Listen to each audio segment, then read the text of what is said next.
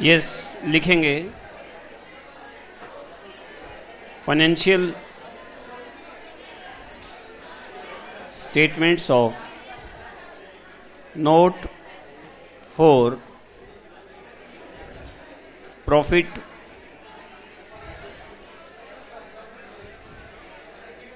organizations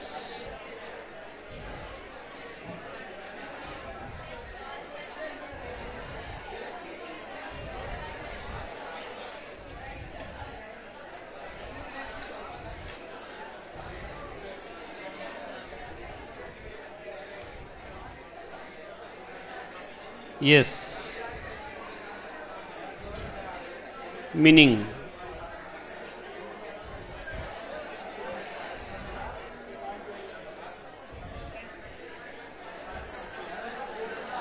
A non-profit organization is a sole proprietorship और partnership और company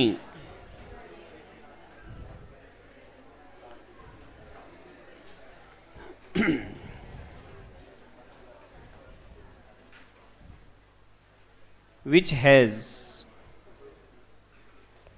its legal entity legal entity and it is operated for the social welfare or benefits.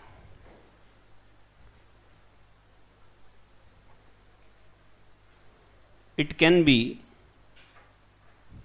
in form of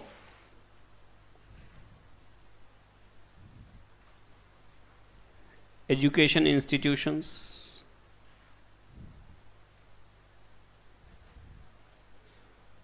Clubs? Hospitals?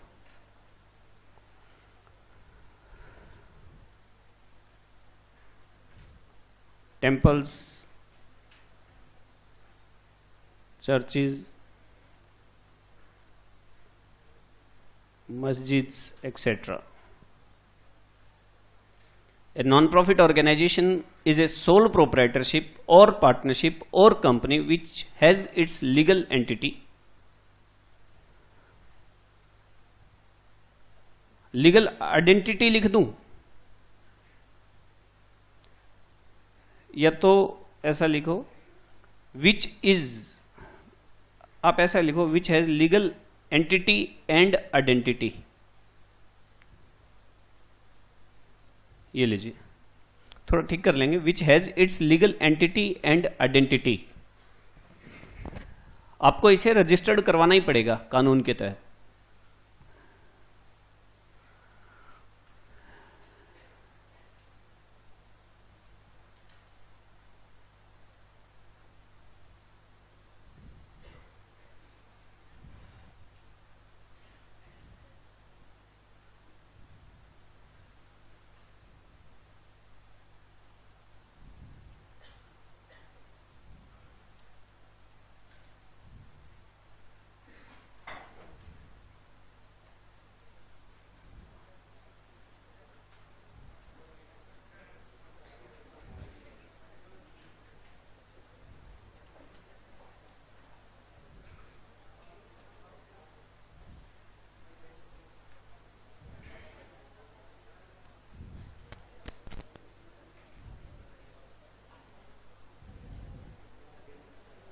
Yes sources of income हाँ जी।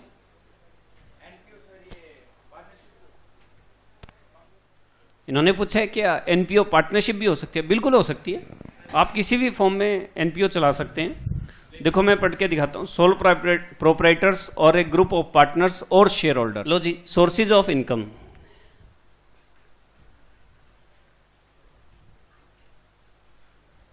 following are the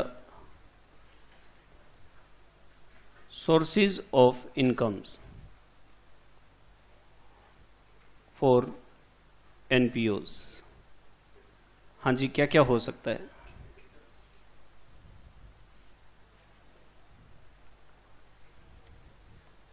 entrance fees entrance fees entrance fees. It is a fees which is received from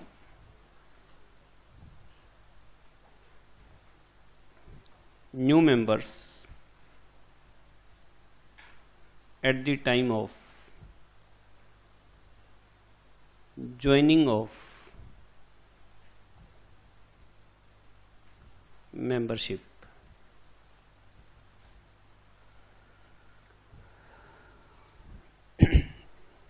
It is a fees which is received from new members at the time of joining of membership.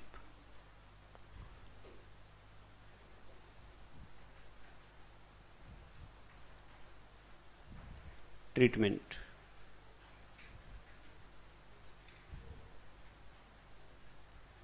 Entrance fees can be treated as capital nature income. It is shown as part of capital or general fund.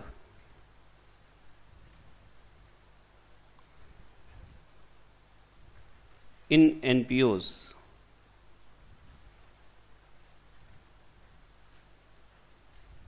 general fund is contributed by members from their own resources or collection from society. It is just like capital. Just like capital. भाई entrance fees को लेकर झगड़ा ही रहेगा हमेशा। General fund मैंने आपको बातों बातों में समझा दिया है।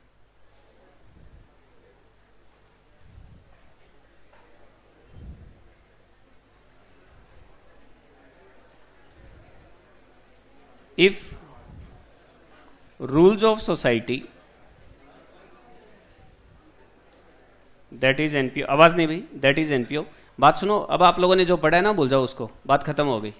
चाहे प्रैक्टिकल है, चाहे थ्योरी है। आप लोगों के ग्रेवाल साहब क्या कहते थे, गोयल साहब क्या कहते थे, शर्मा जी क्या कहते थे, भूल जाओ सारी चीज़ें। अब हमारा स्टडी मटेरियल चलेगा, जो भी होगा। ठीक है ना? हाँ अब कोई डिस्कस करने की ज़रूरत नहीं है। मेरी बताई हुई बात में कहीं भी आपको कुछ कॉन्ट्राडिक्शन नज़र आए, वो बात करेंगे बस। ठीक है? Revenue nature income. If rules of society या NPO prescribe that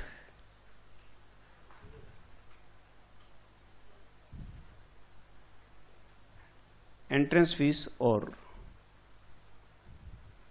admission fees should be treated as revenue nature income.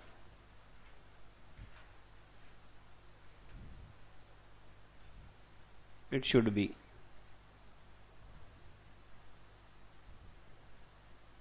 Treated the same.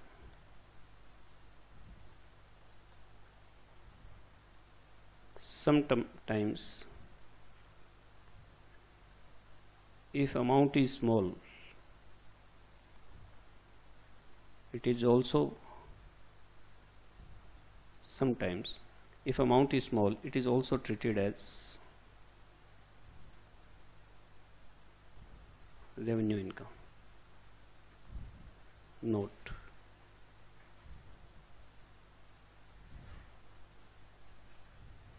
if nothing clear assume capital nature.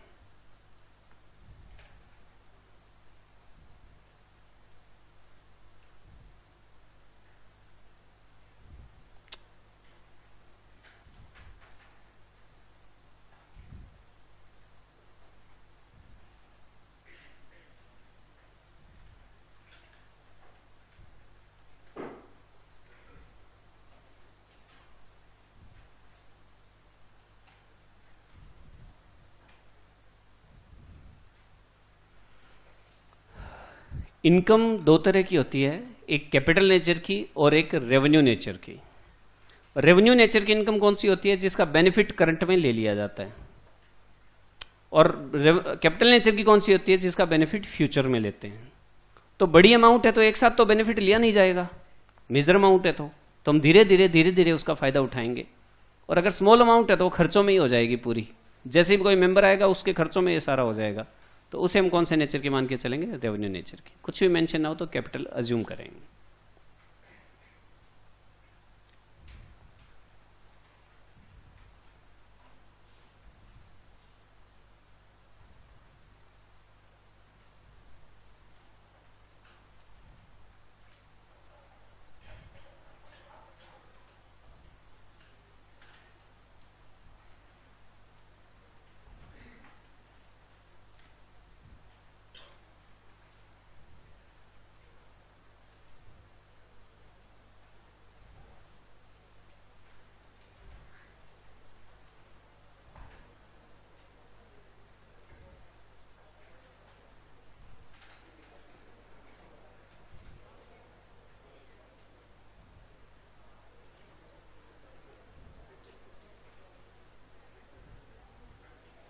yes. Okay. B part. Subscription. It is a donation which is given by members of NPO annually? Annually? Its amount can be its amount can be fixed or variable. It is treated as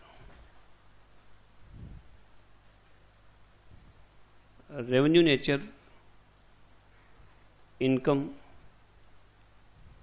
being regular receipt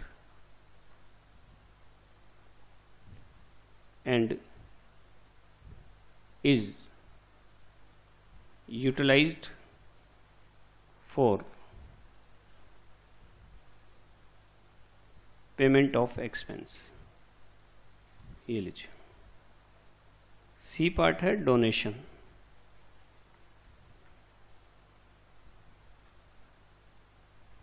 Donation is the amount is the amount given by non-members or members in excess of subscription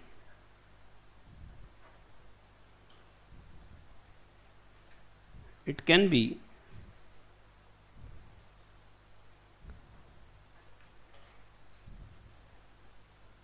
Simple donation or specific donation. It can be simple donation or specific donation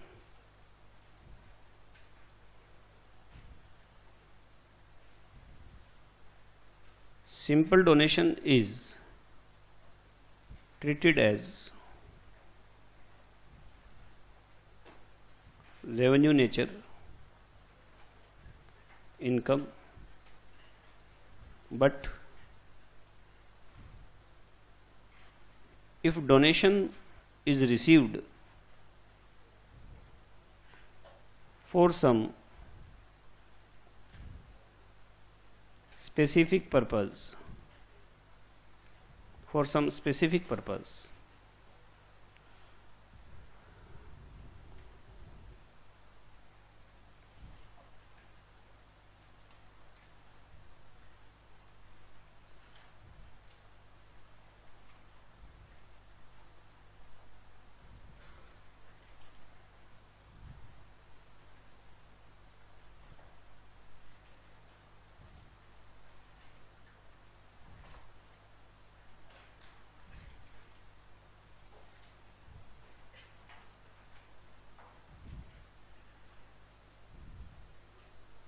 for example for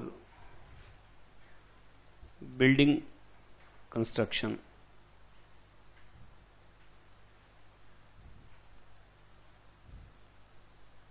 It should be written on liability side as concern fund. Concern fund for example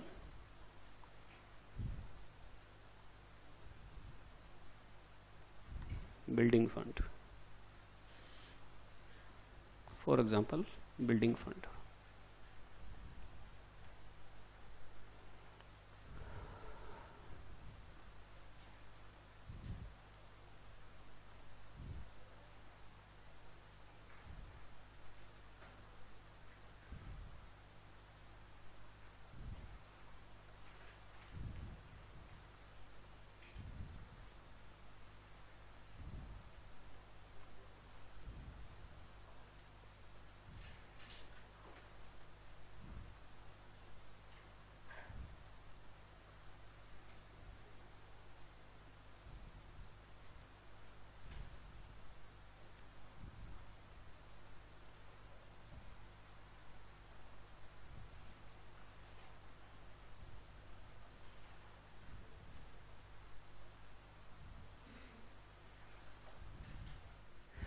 सबसे पहले तो मैंने आपको यह बताया कि business के अंदर जो प्रॉफिट कमाने के लिए जो बिज़नेस स्टार्ट किया जाता है, उसके अंदर जो पैसा लगाया जाता है, उसे कैपिटल बोलते हैं। उसके अंदर जो इन्वेस्टमेंट होती है, उसे क्या बोलते हैं? कैपिटल लेकिन नॉन प्रॉफिट के अंदर कैपिटल नहीं लगती। चाहे मैं अपने घर से पैसे लगाकर एनपीओ स्टार्ट करूँ, चाहे हम सभी लोग मिलाकर पैसे फिर स्टार्ट करें, उसे हम बोलेंगे सामान्य फंड सामान्य संचय जनरल फंड कैपिटल फंड ठीक है जी? क्योंकि ये जनता का फंड है और इसका हिसाब भी देना पड़ेगा आपको। तो ये जनरल फंड होता है। और इनकम कहाँ से आती है? और जो नए नए मेंबर एंट्री करते हैं, उनसे हम एंट्रेंस फ़ीस या एडमिशन फ़ीस लेते हैं एडमिशन के टाइम ये अमाउंट छोटी भी हो सकती है और बड़ी भी हो सकती है. बड़ी अमाउंट हो तो उसे हम कैपिटल मानते हैं, छोटी अमाउंट हो तो हम रेवेन्यू मानते हैं. ठीक है? छोटी अमाउंट को रेवेन्यू इसलिए मानते हैं क्योंकि जब छोटी अमाउंट के पीछे इंटेंशन यही रहती है कि नया मेंबर आ जाए, नया मेंबर जुड़ जाए, उसका खर्चा पानी बहुत है. जब किट वगैरह देनी हो फॉर्म भरवाना हो, कुछ भी आइडेंटिटी कार्ड वगैरह देना हो, उतना ही खर्चा हम उससे लेते हैं तो इसलिए हम रेवेन्यू खर्चा मानते हैं उसे. कुछ भी मेंशन ना हो तो हमारा स्टडी मेटेरियल उसे कैपिटल नेचर मानेगा। कई बार क्वेश्चन में कह दिया जाएगा कि हमें टोटल पाँच लाख मिले से, जिसमें से दो लाख अभी यूज़ कर लिया हमने। तो दो लाख अभी यूज़ कर लिया इसका मतलब रेवेन्यू हो गया, बाकी थ्री लैक्स आपकी कैपिटल हो गई। ठीक है जी? एक मैंने आपको यह बताया कि सब्सक्रिप्शन क्या चीज़ होती है। देखो, आप लोग मेरे साथ एनपीओ के अंदर जब मेंबर बनेंगे तो आपसे मैं दो तरह की इनकम लूँगा। एक तो एंट्री के टाइम एंट्रेंस फ़ीस और एक फिर हम बात करेंगे यार देखो हम सभी लोग समाज सेवा के लिए जुड़े हैं। ठीक है? सोशल एक्टिविटी के लिए जुड़े हैं सो, सोशल वेलफेयर के लिए जुड़े हैं। तो हमें हर साल पैसा तो चाहिएगा। तो देखो भाई देखो यार जब तुम आए हो ना तो तुम्हारे से पाँच सौ रुपए लिए गए हैं वो है एंट्रेंस फ़ीस अब हर बंदा साल के दो सौ रुपए ज़रूर जमा करवाएगा उसे कहते हैं सब्सक्रिप्शन क्योंकि आप अगर देखो सब्सक्रिप्शन मीन चंदा और डोनेशन मीन दान। तो फ़र्क क्या हुआ इसके अंदर? ठीक है? तो डोनेशन किससे होगा?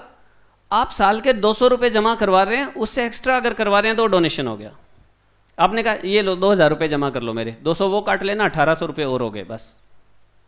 तो ये डोनेशन हो जाएगा आपका। कोई बाहर का मेंबर अगर देता है तो उसे सब्सक्रिप्शन नहीं बोलेंगे, क्या बोलेंगे? डोनेशन ही बोलेंगे हम लोग, ठीक है जी? ये। तो सब्सक्रिप्शन की बात चल रही थी तो सब्सक्रिप्शन के अंदर मैंने आपको कहा, सब्सक्रिप्शन की बात बता दी है, सब्सक्रिप्शन कौन से नेचर का होगा? रेवेन्यू नेचर का होगा। क्योंकि सब्सक्रिप्शन हम किस लिए? मैंने कहा, भाई, हम सभी लोग जुड़े हैं। मान लीजिए पचास लोगों ने मिलकर एक एनपीओ बना लिया। तो मैंने कहा, यार, अपन पचास लोग जुड़ तो गए हैं। अब इसमें से ये प्रेसिडेंट होगा, ये वाइस प्रेसिडेंट होगा, ये कैशियर होगा, ये सेक्रेटरी होगा, कुछ स्टाफ भी होगा। तो एक बंदे ने जिसको सेक्रेटरी बनाया था ना, उसने कहा, बात सुनो, मैं ना अपना फुल टाइम इसमें देने के लिए तैयार हूँ। हम सबने तालियाँ बजाई, भाई, वाह वाह, बहुत अच्छे यार, अपना घर बार छोड़कर आ रहा है। बोले, नहीं, अगली बात भी सुनो, मैंने दूसरा हाथ तो लगाया ही नहीं। मेरे को पच्चीस हज़ार रुपये महीने दे दो। मैं जहाँ नौकरी कर रहा हूँ, मुझे एक लाख रुपए महीना मिल रहा है, लेकिन मैं मैं वहाँ पर घुटन फील कर रहा हूँ, मुझे सोसाइटी के लिए कुछ काम करना अपनी ज़िंदगी में, मेरे को पच्चीस हज़ार रुपये महीना दे दोगे तो मेरे घर का खर्चा चल जाएगा और मैं अपना फुल टाइम इसमें दे दूँगा, तुम लोग चाहे पार्ट टाइम देते रहो विषय तो इस तरह से हमारे मेंबर्स में से कुछ लोग जो है ना पार्ट टाइम हमारे पास आ जाते हैं। फुल टाइम आ जाते हैं तो उनकी सैलरी बाँध देते हैं हम। आपने पढ़ा भी होगा सेक्रेटरीज ऑनर रेरियम सेक्रेटरी का ऑनर रेरियम तो हमने भी उसको कह दिया, मान लो, एक तो सेक्रेटरी की सैलरी होती है तो ये तो सैलरी हो गई। और अगर हम ये कहते हैं, भाई तो आ जा, देख, पच्चीस हज़ार तो फिक्स नहीं है, लेकिन तेरा हम सम्मान कर दिया करेंगे, कुछ भी, बीस, पच्चीस, तीस, हो सकता है पचास दे दें, हो सकता है बीस दे दें। हो सकता है कि हम कहें, पिछली बार पचास लिए थे, दस वापस दे दें। ठीक है, क्योंकि समाज सेवा है भाई साहब, दांव पे लगाना पड़ेगा खुद को। तो उसे कहते हैं ऑनरेरियम और अगर फिक्स हो जाता है तो उसे बोलते हैं सैलरी और रेमुनरेशन कई बार हम वैसे पेमेंट कर देते हैं, उसे रेमुनरेशन कहते हैं। तो कहने का मतलब यह है कि सब्सक्रिप्शन किस काम के लिए? जो हमारा रूटीन का खर्चा चलेगा ऑफ़िस चलेगा, उन खर्चों को पूरा करने के लिए हम सब्सक्रिप्शन लेते हैं। तो इसलिए कौन से नेचर का है? रेवेन्यू नेचर का है। एक होता है डोनेशन मीनिंग मैंने बता दिया डोनेशन दो तरह का होता है, एक सिंपल और एक स्पेसिफिक सिंपल डोनेशन क्या है? सिंपल डोनेशन यही है। आप, आपने देखा होगा कि जो ज़्यादातर आप दुकानों पे जाते हैं शोरूम पे जाते हैं, और है तो काउंटर के पास एक गल्ला सा रखा होता है। गौ माता, गौशाला भैंसशाला है नहीं खैर। लेकिन पता नहीं क्यों नहीं है, वो तो समझ से बाहर है। तो क्या है, वो जो वो जो बॉक्सेस रखे होते हैं तो आप वहाँ से पैसे लेते हैं, फिर आपको दस दस रुपए के दो खुले नोट मिले तो आपको वहाँ उसमें डाल दिया। चलो, ये डोनेशन है। ये सिंपल डोनेशन है। आपने किसी इंटेंशन के साथ नहीं डाला। ठीक है? और फिर स्पेसिफिक क्या है? स्पेसिफिक ये है कि आप एक एक स्कूल चला रहे हैं। एनपीओ का एक स्कूल चला रहे हैं नॉन प्रॉफिट ऑर्गेनाइजेशन का। गरीब बच्चों को फ्री पढ़ाते हैं आप, या बड़ी माइनर सी फ़ीस लेते हैं, पाँच रुपए, दस रुपए। तो उसमें शहर के कोई जो फ़ेमस लाला जी हैं, उनको बुला लिया इंडस्ट्रियलिस्ट को बुला लिया या किसी और बड़े प्रोफेशनल को बुला लिया जो खूब कमाता है। ठीक है? उसको बुला लिया आपने। उन्होंने यहाँ फिर गाने वाने गाए, स्वागत करते हैं, ऐसे वैसे फूल फाल बरसा के उनको सेट किया पूरा अच्छे से। और फिर कहा जी लाला जी दो शब्द कहेंगे, फिर वो आ गए। आगे तो देखो, मैंने स्कूल देखा, बहुत अच्छा है। ये आप लोग समाज के लिए बहुत अच्छा काम कर रहे हैं। मैं इससे बहुत खुश हुआ हूँ। उधर वो प्रेजेंट कह रहा है, जल्दी बोलो यार, कितने दे रहे हो? ठीक है? तो वो फिर कहते हैं कि भाई, मैं ऐसा करता हूँ, मैं इस स्कूल के अंदर पंद्रह लाख रुपए जमा करवा रहा हूँ और पंद्रह लाख से आप ऐसा करो, बच्चों के लिए एक बैडमिंटन हॉल बना दो। ये स्पेसिफिक हो गया। ये स्पेसिफिक डोनेशन हो गया। इसे आप रेवेन्यू इनकम नहीं मान सकते। ये आपकी लाइबिलिटी हो गई।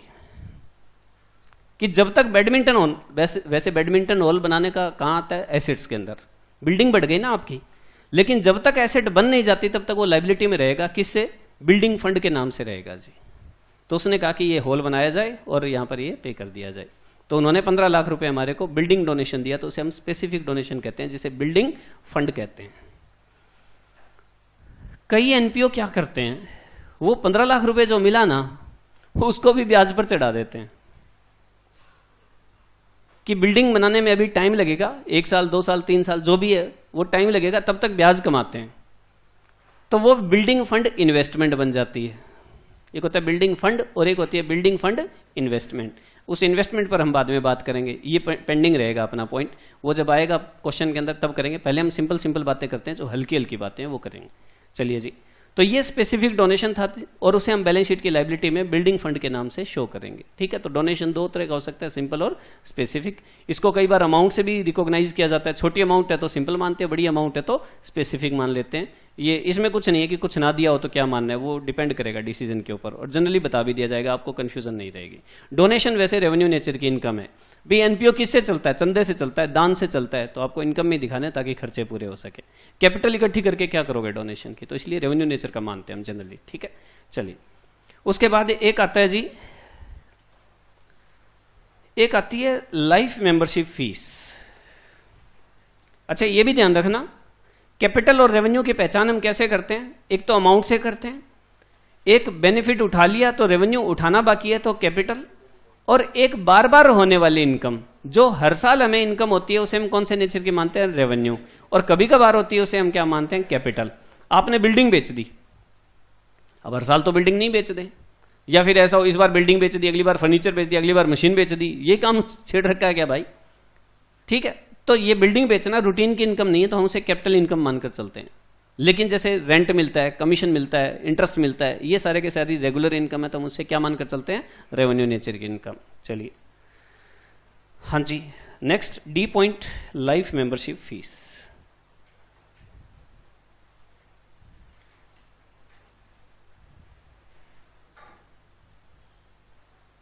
life membership fees.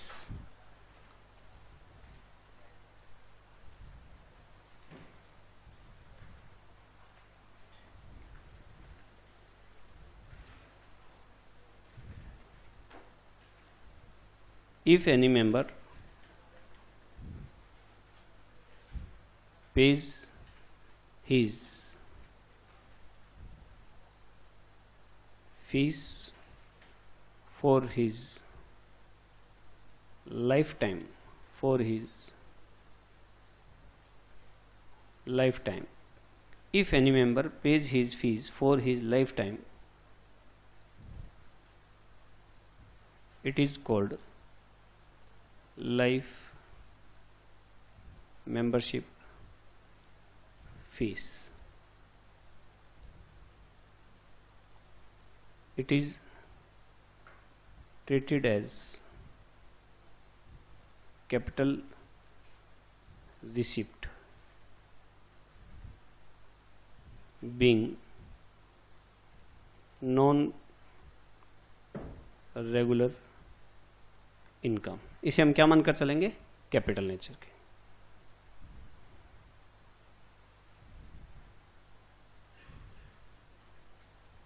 It becomes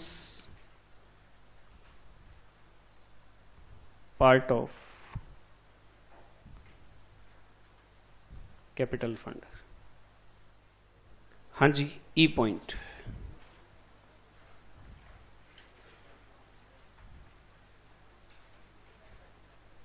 endowment fund donation.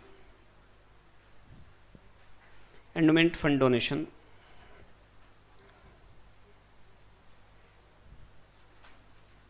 It is a donation received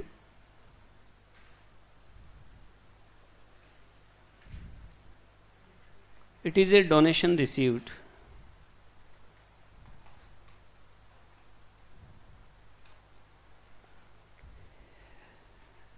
and only income from that donation, ये मैं आपके एसएम से लिख रहा हूँ। क्योंकि ये ना दो नंबर में कई बार थ्योरी में पूछ लिया जाता है। थोड़ा कॉम्प्लिकेटेड है कि इसमें और स्पेसिफिक डोनेशन में फ़र्क क्या है दोनों के अंदर। Only income from that donation is to be used is to be used for certain specific purpose for certain specific purpose.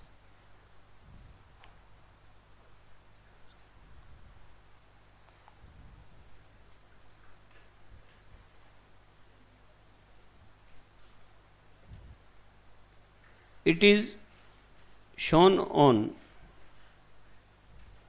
liability side and income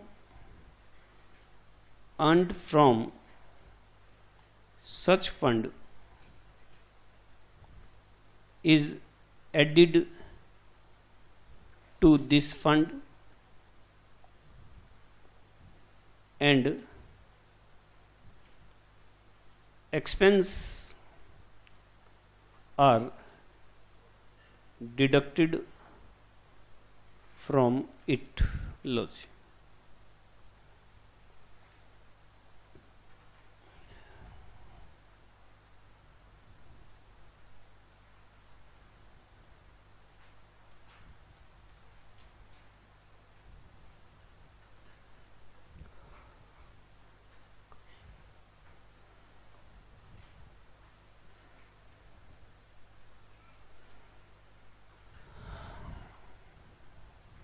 ये देखो क्या बताया मैंने।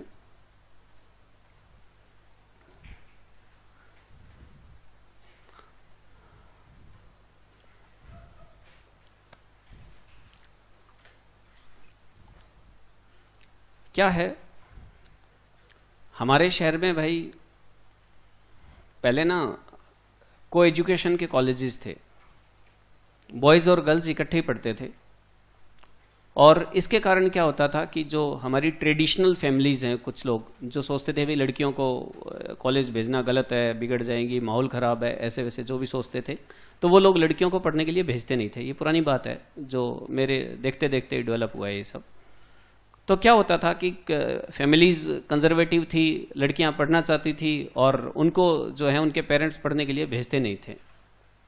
तो क्या हुआ कि हमारे शहर के एक बहुत बड़े लाला जी थे तो उन्होंने क्या किया, एक लड़कियों के लिए एक स्कूल खुलवा दिया स्पेशल स्कूल खुलवा दिया, जिसका नाम एफसी स्कूल था। एफसी सीनियर सेकेंडरी पहले हाई स्कूल था, फिर उसका नाम सीनियर सेकेंडरी स्कूल रख दिया गया। तो उसके बाद क्या हुआ कि स्कूल भी मतलब इसी तरह से को एजुकेशन के थे तो उन्होंने स्पेशल लड़कियों के लिए वो स्कूल खोला गया कि ठीक है, अगर आपको इस तरह का कोई चिंता है, और है तो कोई दिक्कत नहीं है, हम कॉपरेट करते हैं, और हम क्या करते हैं ये स्कूल खुलवा देते हैं तो उन्होंने पेरेंट्स ने अपने लड़कियों को स्कूल भेजना शुरू कर दिया और ट्वेल्थ तक पढ़ाने के बाद शादी करनी शुरू कर दी। तो पहले वो शादी बिना पढ़ाई हो जाती थी। उसके बाद लड़कियों ने ट्वेल्थ करना शुरू किया। ट्वेल्थ करने के बाद शादी करनी शुरू कर दी। अब उन्होंने कहा लाला जी ने कहा, भाई, अब क्यों नहीं भेज रहे आगे? कॉलेज में अब तो भेजो। तो उन्होंने कहा, जी, आगे कॉलेज भी को एजुकेशन के, हम तो बारहवीं तक ही भेज सकते हैं। लड़कियों के कॉलेज में भेजना है। लड़कियों का कॉलेज कोई है नहीं। तो उन्होंने क्या कि ग्रेजुएशन भी स्टार्ट करवा दीजिए बी कॉम बी ए वगैरह B A B com B A और ये बी एस सी वगैरह स्टार्ट करवा दी। तो उन्होंने क्योंकि वो ए, सोशल वेलफेयर के लिए काम करते थे उनका एक बड़ा ग्रुप था पैसे भी अच्छे थे लगा देते थे डोनेशन के रूप में और चलता था सारा का सारा। लो जी ग्रेजुएशन भी करने लग गई लड़कियाँ कॉलेज खुलवा दिया उन्होंने। अब शादियाँ ग्रेजुएशन के बाद होने लग गई। अब क्या हुआ वो कहीं की नहीं रही। भी ग्रेजुएशन हो गई अब आगे। ग्रुप में कहा गया कि ये क्या है? अब ये ग्रेजुएशन के बाद यूनिवर्सिटी में भेजो यार उनको। एक्चुअली उस कॉलेज में एमकॉम नहीं थी। बीकॉम के बाद एमकॉम होती है। एमकॉम उस कॉलेज में थी नहीं। एमकॉम यूनिवर्सिटी में थी। यूनिवर्सिटी के लिए अपना शहर छोड़ना पड़ता है। अब वहाँ नहीं भेजते भाई। बाहर कैसे भेजें? बाहर माहौल खराब है। पहले यहाँ था, बाहर है। ठीक है ना? क्योंकि जिसको उल्टा सोचना होता है, वो हर जगह सोच ही लेता है। तो बोले, जी, बाहर माहौल खराब अब नहीं भेज सकते। तो उन्होंने कहा, क्या प्रॉब्लम है? ये कॉलेज खोल दिया। अब इससे इनकम हो रही है। अब आप इससे एमकॉम स्टार्ट करो। जो ग्रुप के जो लोग थे, उनसे बात की तो उन्होंने कहा, जी, देखो, कॉलेज खोल दिया है, फ़ीस हम ज़्यादा लेते नहीं है, खर्चा हम पूरा करते हैं। तो जो जो इनकम आती है, फ़ीस आती है और खर्चे हैं, वो लगभग बराबर से हैं, हमें प्रॉफिट नहीं होता। तो उन्होंने कहा अच्छा तो एमकॉम के लिए क्या चाहिए? एमकॉम के लिए स्टाफ ज़्यादा क्वालिफाइड चाहिए, जी। सीनियर बच्चे होते हैं, उनको पढ़ाने के लिए ज़्यादा क्वालिफाइड स्टाफ चाहिए एडमिनिस्ट्रेटिव स्टाफ ज़्यादा चाहिए। यूनिवर्सिटी भी अपनी फ़ीस मांगती है डिग्री लेके आएँगे कॉलेज में वो फ़ीस भी देनी पड़ेगी। तो फिर सभी मेंबर्स ने ट्रस्ट के मेंबर्स ने क्या किया? सबने मिलाकर, मान लीजिए, वैसे बता रहा हूँ मैं, कि मान लीजिए दस मेंबर थे उस कॉलेज के ट्रस्टीज जो थे ट्रस्टीज बोलते हैं उनको तो दस लोगों ने पाँच पाँच लाख रुपए इकट्ठा करके पचास लाख रुपए कॉलेज में जमा करवा दिए जी। पचास लाख रुपए कॉलेज में जमा करवा दिए और पचास लाख रुपए पर पाँच लाख रुपए महीने की आमदनी होनी शुरू हो गई, चाहे उसको ब्याज पे चढ़ाए हो, चाहे इन्वेस्ट किया हो कहीं भी, कुछ भी। तो पाँच लाख रुपए महीना की इनकम होनी शुरू हो गई वहाँ से। और उन्होंने कहा, अब ऐसा करो, ये एम कॉम लाने वाला काम तो हम अलग से कर रहे हैं, इस पचास लाख से अलग। एम कॉम ला दिया, लो जी। यूनिवर्सिटी की फ़ीस हमने भर दी है एम कॉम हम यहाँ ले आए हैं। अब ये फिफ्टी लैक्स जो डिपॉजिट है ना, उससे जो पैसा आएगा ना, उससे आप अपने एम कॉम के स्टाफ का खर्चा चलाओ। ठीक? तो ये जो पचास लाख रुपए थे, अब देखो, उससे बिल्डिंग नहीं बनानी बिल्डिंग फंड नहीं है। ठीक है? और बिल्डिंग फंड भी होता। अगर अगर वो कहते हैं ना, देखो जी, हमारे यहाँ कमरे नहीं है। एमकॉम को पढ़ाने के लिए चार कमरे अलग से चाहिए, वो रूम्स नहीं है यहाँ पर। वो कहते हैं, ये लोग पचास लाख रुपए कमरे बना दो। तो वो बिल्डिंग फंड हो जाता, वो स्पेसिफिक डोनेशन हो जाता, और बिल्डिंग बनाते ही वो खत्म हो जाता वो डोनेशन ये ये फंड खत्म नहीं होगा। इन्होंने कहा, ये पचास लाख रुपए जमा करवा दो कॉलेज के नाम करवा दो। और उससे जो इंटरेस्ट आए, मान लो दस परसेंट के हिसाब से फाइव लैक्स आना स्टार्ट हो गया। इस पाँच लाख रुपए से आप अपने स्टाफ की सैलरी और खर्चे जो भी बनते हैं वो महीने के पे करना स्टार्ट कर दो। ये एंडोमेंट फंड डोनेशन है। कि ऐसा डोनेशन जिसकी इनकम से आपके कुछ खर्चे चले। फंड को यूज़ नहीं करना। फंड तो रहेगा। फंड रहेगा। बिल्डिंग फंड में क्या होता है? बिल्डिंग, वो फंड ही खत्म हो जाता है। पचास लाख रुपए मिले, खर्च कर दिए, बिल्डिंग बना दी, बात खत्म। लेकिन यहाँ पर क्या है? जो डोनेशन मिला है, उसकी इनकम से खर्चे चलेंगे। तो हम करते क्या है? अब मान लीजिए ये एमकॉम फंड है। मान लीजिए ये एमकॉम फंड है पचास लाख रुपए फिफ्टी लैक्स तो जो इस पे इनकम होती है, वो तो हम क्या करेंगे? ऐड और इस एमकॉम डिपार्टमेंट पे जो खर्चा होता है, वो हम कर देंगे लेस तो ये आ जाएगा। ये कभी कम होता रहेगा, कभी ज़्यादा होता रहेगा, कभी ब्याज की रेट कम होती रहेगी, कहीं इन्वेस्ट करते रहेंगे। वो सोसाइटी की मर्ज़ी के ऊपर है कि उसको ठीक से टैकल करें। बात समझ आ गई आपको? मीनिंग समझ आ गया क्या? ज़्यादा कैलकुलेशन के चक्कर में मत पड़ना मीनिंग समझना है फ़िलहाल तो। ठीक है जी? हो गया? चलिए। अब आप इसको एक बार थोड़ा पढ़ लीजिए आराम से। क्योंकि आपके एग्ज़ाम में ना थ्योरेटिकली पूछा जा सकता है कि एंडोमेंट फंड डोनेशन को एक्सप्लेन करो।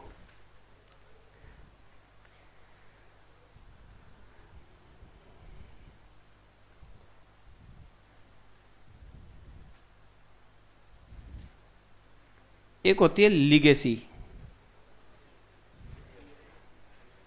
वसीयत।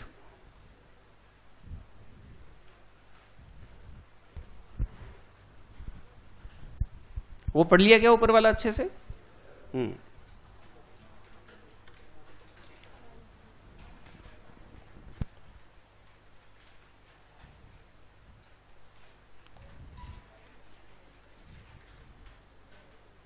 It is an amount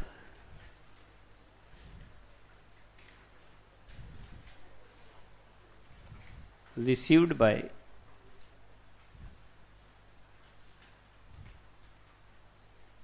organization. It is an amount received by organization.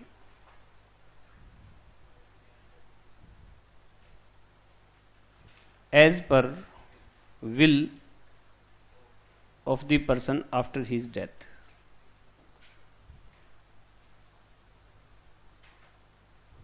After his death of the person.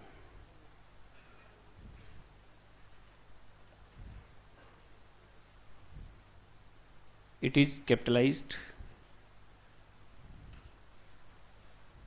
being non regular income रोज रोज ऐसे महान लोग पैदा नहीं होते दुनिया में it is capitalise being non capitalise and added to general fund इसको हम जनरल फंड में ऐड करते हैं जी।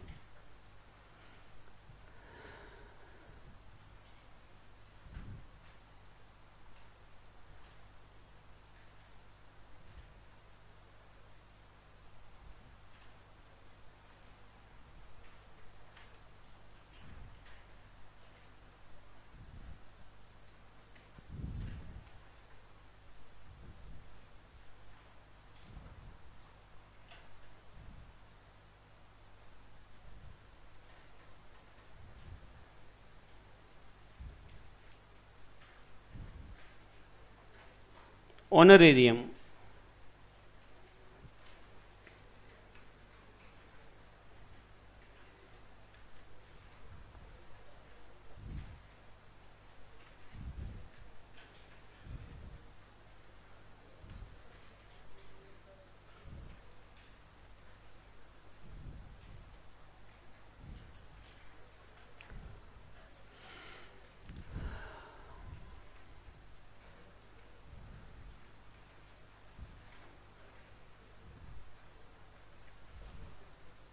ऑनरेरियम क्या चीज़ है?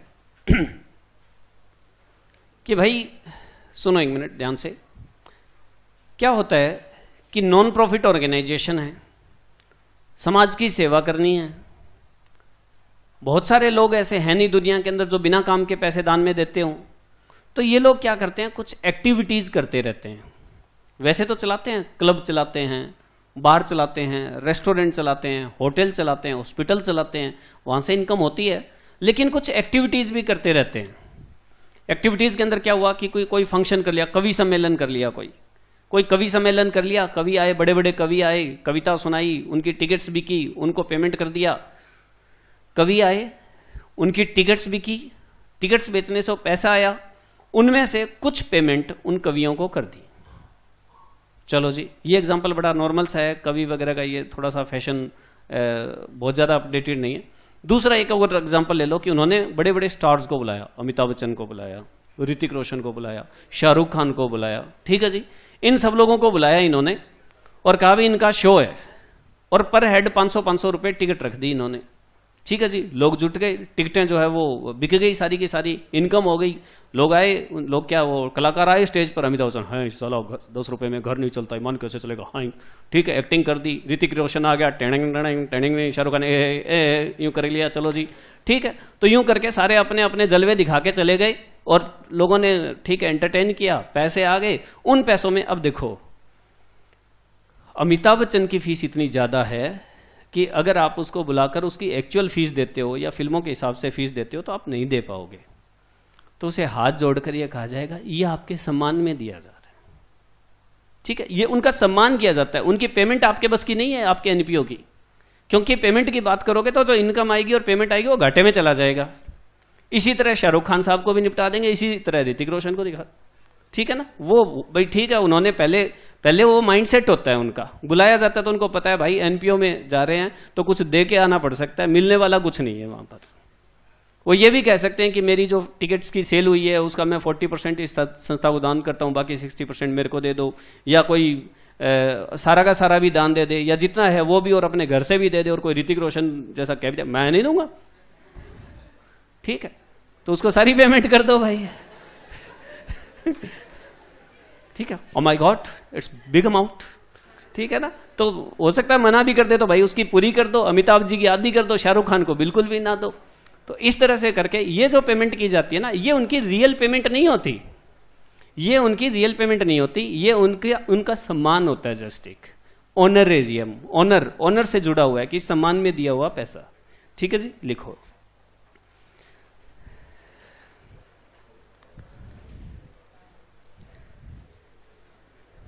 It is the payment which is made to persons who are not employees of the organization and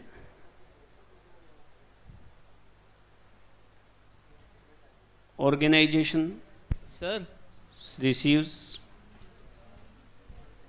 their services it is treated as हाँ ये payment है जरा ध्यान देना मैं सोर्स ऑफ़ इनकम बता रहा था लेकिन ये पेमेंट है ये थोड़ा अलग है मामला। सोर्स ऑफ़ इनकम ऊपर खत्म हो गए।